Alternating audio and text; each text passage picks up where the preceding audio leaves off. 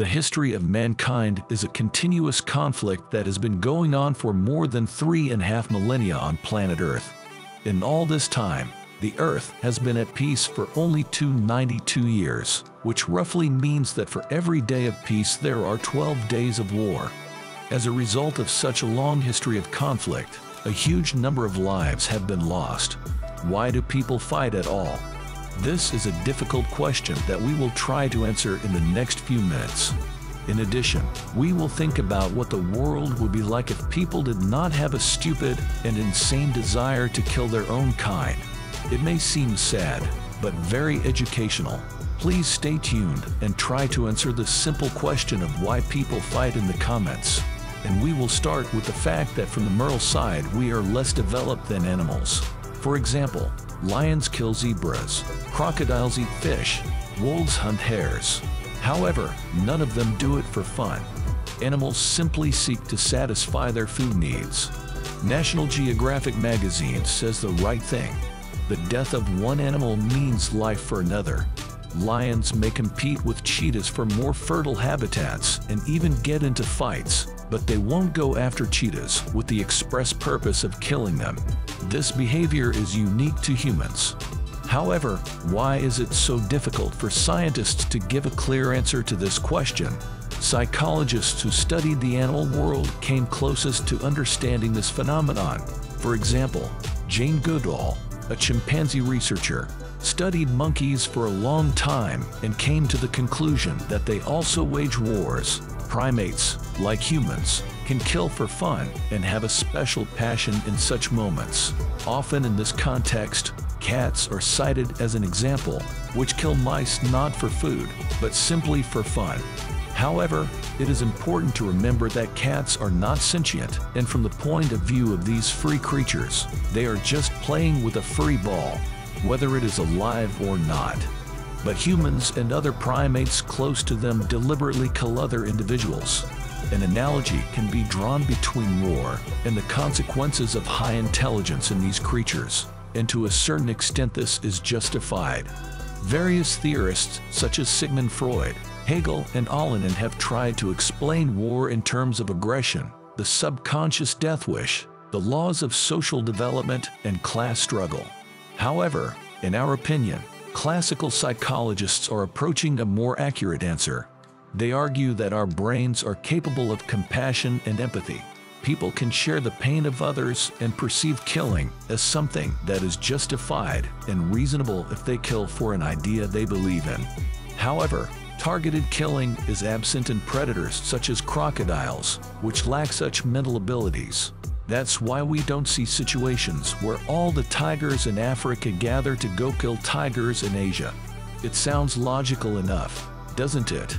In the history of mankind since ancient times, it has been the prevailing notion that murder is a terrible sin, and it was subject to punishment even at the earliest stages of human history. For example, in ancient Greece, you would be executed for premeditated murder. However, there is a small exception.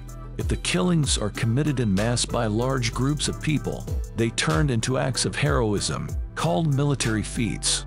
This is how a funny paradox arises. Religion, social, and political systems as a whole do not deny the need to sometimes fight for a just cause. Almost the entire human epic, from the ancient Greek myths about the Spartans to the brave American warriors in Iraq, is associated with the process of taking the life of other people. Humanity does not seem to have made any progress in this regard, since in ancient times those who killed another tribe, such as the Neanderthals, were considered heroes, and now those who take lives are rewarded and honored. We do not deny that there are exceptions in certain situations that deserve the utmost praise and respect, such as the fight against terrorists and other enemies of humanity. However, such cases are only exceptions and have no connection with the millions of people who sent each other to the other world during the First and Second World Wars.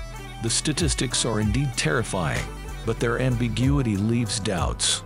Various figures can be found in printed publications stating that 3.5 billion people have died in wars in the history of mankind. However, it is worth noting that in 1804 alone, 1 billion people lived on Earth. Regardless, anything is possible. Research conducted by Jean-Jacques Babel in 1959 showed that in 5,559 years, 14,500 warriors of various sizes occurred on the planet, but not all of them were destructive. For example, in 1896, Great Britain declared war on Zanzibar, which lasted only 38 minutes. The Queen's army quickly stormed the Sultan's palace and captured the ruler. On the other hand, Holland waged war with the Scilly Archipelago for 335 years, and not a single person died.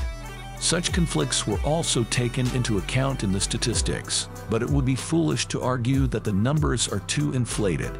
Take, for example, the Second World War, which, according to the most conservative estimates, claimed 40 million lives. The history of such conflicts remains fresh in the memory of mankind, and if we delve into history and look at what happened in China, then our hair will stand on end, not only on our heads. In 1850, during the Qing Empire, the Chinese were at war with the colonialists who had taken over the country. The number of victims of this conflict ranges from 20 to 100 million. Earlier, when the Qing Empire itself seized power, another 25 million people died. The gigantic empire of Genghis Khan was not built out of the blue either. Capturing 24 million square kilometers, this empire lost 30 million lives, which was 7.5% of the world's population at that time. And pessimists claim that the warriors of the era of Genghis Khan claimed 60 million lives, which further increases the insane numbers. However, I do not want to delve into a more distant history, where even more terrible events took place. Many may justify the need for wars, but no one disputes their colossal sacrifices. And here it is worth raising the question, what would happen if the revolution changed our minds and excluded the need to fight? Pessimists immediately declared that the planet would face famine, overpopulation, and other problems. The position of the classical supporters of the war is explained by geopolitics, resources, and other factors. The problem is that all this was invented by the leaders, who always wanted to fight in order to expand their influence. They are ready to die on the battlefield, but scientific sources indicate that the Earth is able to feed from 4.5 to 20 billion people, which even now, at the peak of population, does not greatly exceed the limit. Now look at the news feed of any science group. Two years ago, it was proved that terrestrial potatoes can be grown even in Martian conditions. Bill Gates has invested in in vitro meat production, and companies like KFC are already piloting stores that will sell artificial meat products exclusively.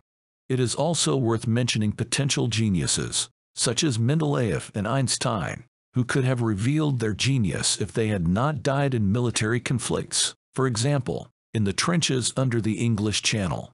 We do not claim that humanity would be better off without wars. We simply say that spending on science in all states is much less than spending on the army. If we were to reverse the numbers, cutting-edge technologies in renewable resources and artificial food could become commonplace. Thus, the question of food and resources would itself fall away, and the main argument of the lovers of war would also lose force. Do not forget that even in 2019, we still live in our caves and look with caution at the caves of other tribes. It's just that now the caves have been replaced by countries, and the spears by high-tech weapons that can take the lives of millions of people with one blow. We continue to improve the means of communication, food, and murder. Unfortunately, until humanity realizes that a simple janitor from Australia can be a copy of it and share all interests, we will spend billions on destructive means that have claimed the lives of many people. As a result, humanity will continue to stagnate. Until we meet again, friends.